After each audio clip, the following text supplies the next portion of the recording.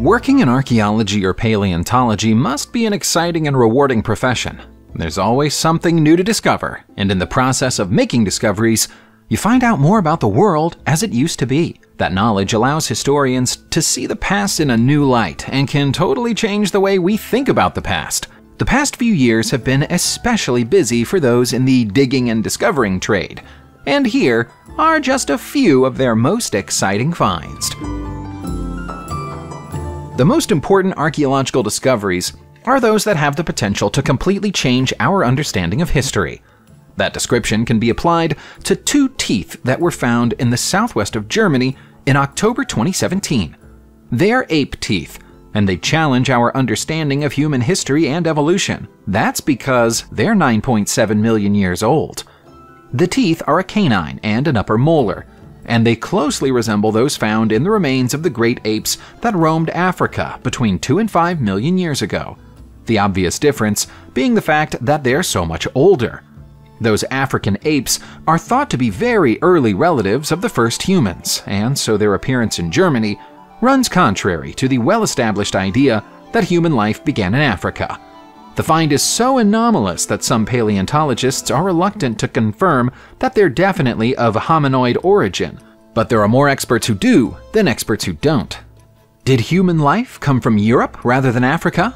More evidence would be needed to confirm that idea, but it's certainly a possibility.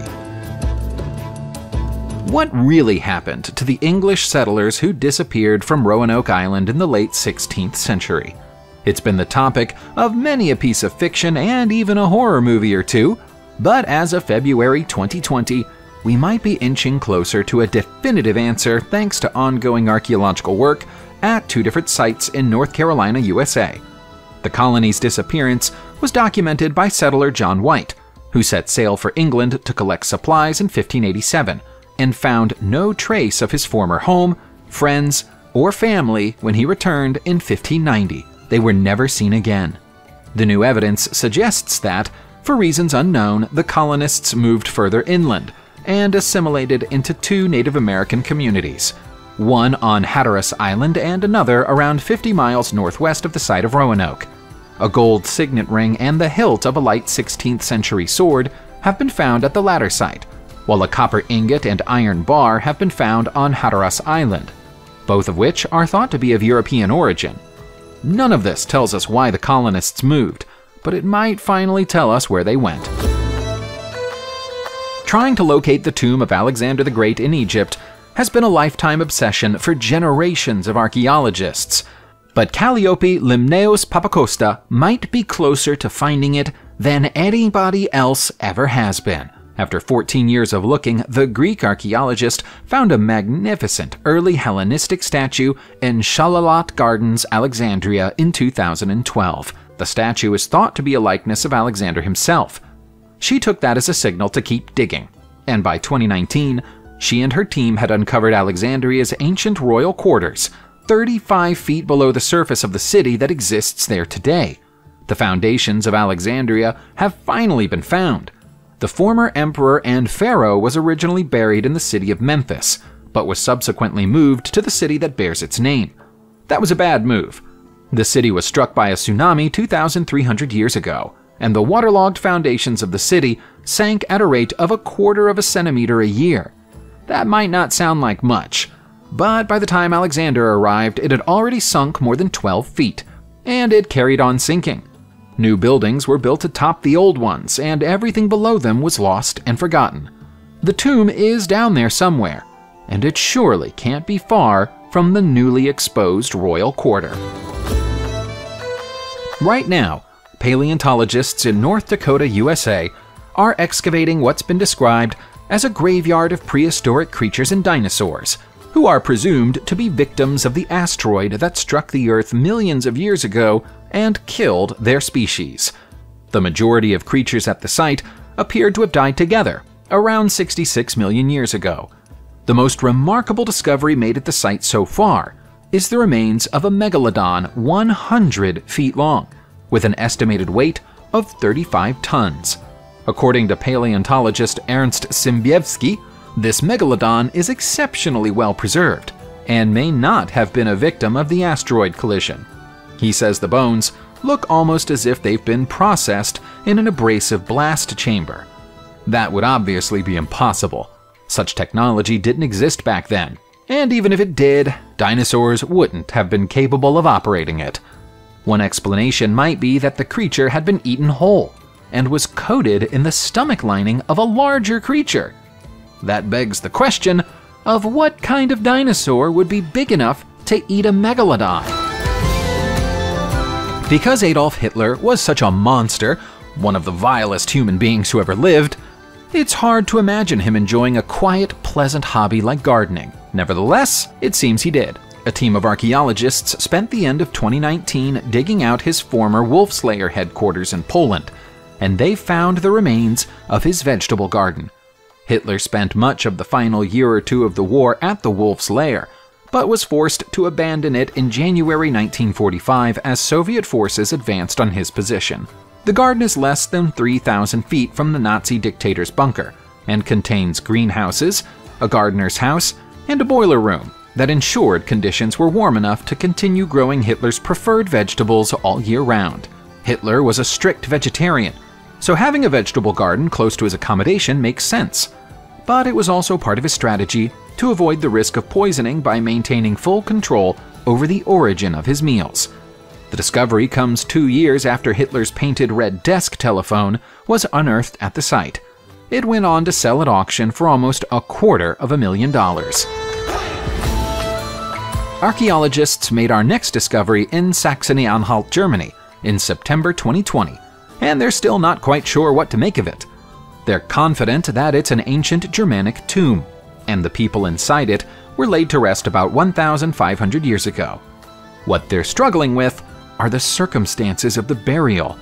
They think it might be evidence of an ancient cult or sect. The skeletons of six women are arranged in a circular formation around a cauldron in the middle of the tomb, which is believed to contain the cremated remains of a tribal leader or lord.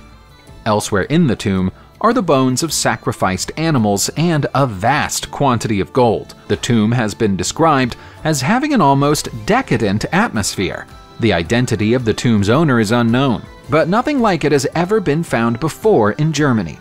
Experts might never even have found this one had it not been broken open by accident during the construction of a new chicken farm in the area. Were the women wives or servants of the person in the bronze cauldron? Were they alive when the tomb was sealed? We might never know. Saber-toothed tigers have been extinct for a long time now, but they're often cited as examples of how powerful prehistoric creatures were. As of June 2019, we know that they were even more powerful than we'd always thought. Experts have been studying the skulls of saber-toothed tigers taken from two different locations in Argentina in an attempt to determine how the animals died, and they reached a surprising conclusion. They were killed by other saber-toothed tigers, and their killers struck them down with a single bite to the head. Having completed their studies, the experts now feel confident enough to say that the beasts were capable of puncturing the skull of another big cat with just one bite, thanks to the exceptional strength of their canine teeth. In both cases, the skulls have a single puncture mark almost directly between the eyes, into which the teeth of another of their species fit perfectly. Saber-toothed tigers spent the majority of their time hunting and fighting mammoths and other large creatures. But they'd get into fights with each other about things like territory or breeding partners. It seems those fights would have been ended swiftly and with devastating consequences for the loser. If you follow the theory of evolution to its logical conclusion, all animals must have had one common ancestor. In March 2020, Scientists announced that they think they might have identified that creature, and it's not a pretty one. It's a 555 million year old primeval worm with a clearly defined head, tail, and symmetrical sides. A crude way of looking at humans is that they're little more than a digestive tract wrapped in meat. These worms could be described the same way. It would be more accurate, though, to describe it as a bilaterian, and its fossil was found inside a chunk of rock extracted from deep below the ground in Australia.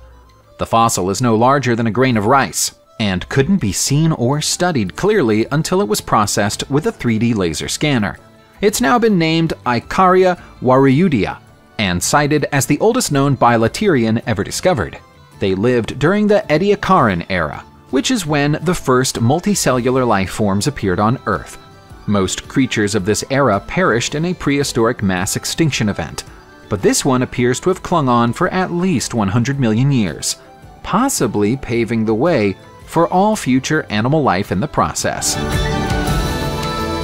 Being female didn't preclude anyone from becoming a warrior in ancient Siberia, and nor did being a teenager. Archaeologists first discovered the remains of a mummified Amazon warrior in the Tuva Republic in 1988, but at that time, they could only identify her as being female. It wasn't until June 2020 that it became possible to put an age to the Amazon warrior, and experts were shocked to find that she was only 13 years old. Despite her youthfulness, she must have been a respected warrior. She went to her grave with an axe, a bow, and a range of arrows made from bone, wood, and bronze. She was dressed up in a double breasted fur coat before she was laid to rest in a wooden coffin. Although the mummification process wasn't perfect, her body was well preserved enough for a large wart on her face to remain clearly visible even after 2,600 years in her grave. This Amazonian warrior girl is the prime piece of evidence for the existence of a female warrior tribe living among the Scythian people of the Central Asian region in ancient times. When you were a child, you might have stored any coins given to you by adults in a piggy bank. If you have children, you might even have given them a piggy bank of their own. This is an ancient tradition, and it goes back at least 1200 years. The ancient equivalent of a piggy bank was found in Israel in January 2020, where archaeologists found a collection of gold coins stashed inside a clay vessel for safekeeping. The discovery was made in what's being described as an ancient industrial area, where experts believe a trade center existed for several centuries. The coins were all minted in the late 8th and early 9th centuries, providing archaeologists some historical context for the find. Although the clay vessel they were found inside wasn't shaped like a pig, it had a slot and a seal to prevent coins from falling out or being accessed easily, so it would have served the same purpose. Given the value of the coins inside it, though, it's perhaps more likely that the artifact belonged to an adult than a child. Unless we're talking about a very rich child. Nuisoks Castle in Poland was built for the country's royal family in the 14th century. But in June 1941, it was seized by Nazi invaders and turned into a barracks. Ever since the end of the war, it's been assumed that nothing was kept here other than soldiers and munitions. But a June 2020 archaeological dig has changed that opinion. A Second World War era treasure chest has been found at the site, and within the chest, a set of more than 100 fine silver objects. That might not be a strange discovery to make it a royal castle, but these silver pieces aren't from the royal collection. The majority of them are household objects like cutlery or goblets and appear to be of Jewish design. The current theory is that the Nazis stole them from Jewish people living in the area around the castle and then buried them in the chest for safekeeping. The castle was attacked and blown up by Polish forces in 1945, so the Nazis never got the chance to come back and reclaim their ill gotten gains. It's possible that other stolen goods were kept in or around the castle's grounds, and so archaeological digs at the site continue. We know that our ancient ancestors worshipped many different creatures as gods thousands of years ago. Does that mean this snake altar, which was discovered in Patara, Turkey in October 2020, is evidence of an ancient society of snake worshippers?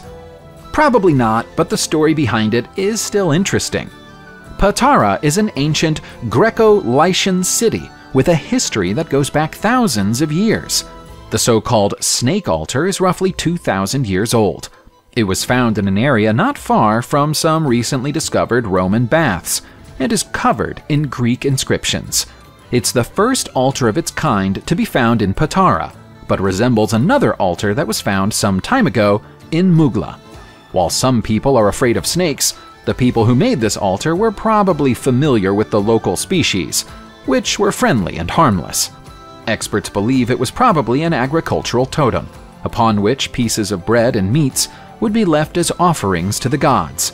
Snake symbols are often associated with agriculture in ancient Greek and Roman mythology, but the reasons why aren't yet fully understood.